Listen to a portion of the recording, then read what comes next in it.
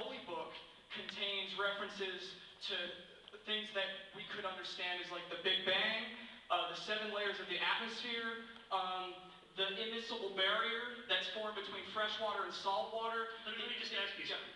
Do you think that God front-loaded, like the first cells with all the DNA needed to make the like complex cells today?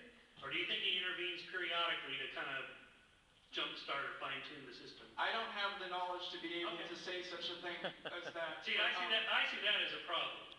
That once you go down the road of thinking, okay, the deity set it up, I, I can, I can almost, I can kind of buy the idea that he set up the laws of nature to be evolutionary and the whole system just runs on its own, and, and he doesn't intervene. But once you start, this was Newton's problem, because uh, he was struggling with the idea that, well, it's like a clockwork, but that it might run down. Ooh, but that requires the deity to dip into the system and wind it back up somehow, and how would that happen? Uh, so you see where I'm going with that. Like, once you start down that, the burden of proof is now on you to tell us where you think that happened and how God did that. No, no, I, I- know what you're saying as well. And uh, we live in an interesting society here in America because it's so polarized. On the one hand, you have scientists that are really concerned with um, empirical uh, religious understanding.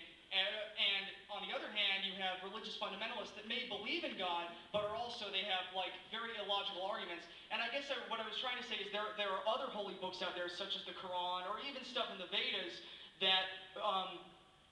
more in tune with modern scientific understanding Sure. of the universe. And in that respect, I'm, you know, I'm happy that I'm happy for anybody to not reject science. You know, on a sort of first approximation level, three cheers for that. now, on a scientific level, I, I would ask them, well, what about the front loading of the cells or whatever? But that's a separate question. As long as they don't want to teach it in the schools or something. Yeah. Hi, um, in fact, my question is not altogether different than what perhaps that was just asked. Uh, about a couple decades, or a couple of uh, decades ago, yes, and correct me if I'm wrong, the Catholic Church actually acknowledged that um, the Earth was 4.5 billion years old, and they uh, acknowledged the existence of the fossil record, things of that nature.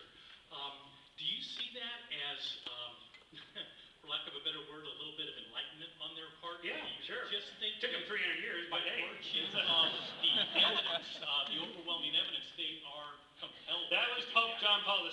He's fairly liberal compared to the current Pope, who's ratcheting back a little bit on some of the Pope John Paul II's more liberal ideas. So we'll see how that goes. But hey, anybody that says it's okay to believe, as I said, it's okay to believe in science and evolution, then I'm, I'm happy about that. Where, where do you see the direction of the Catholic Church in America going today? If- Extinct. and Again, not, not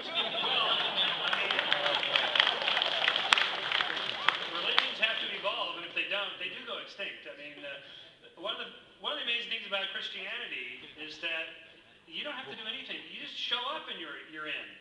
Most religions have all these classes you got to take, and you got to give an inch of foreskin, whatever. I mean, there's, there's a lot of stuff that you know guys don't want to do.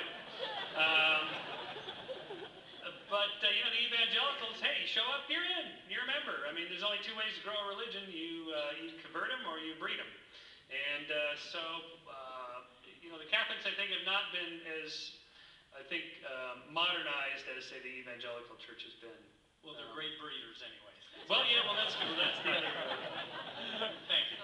Okay. I think we uh, uh, thank Dr. Shermer for a wonderful talk, and I know you will be available for book signing afterwards. So thank you all very much for coming, and uh, I see you.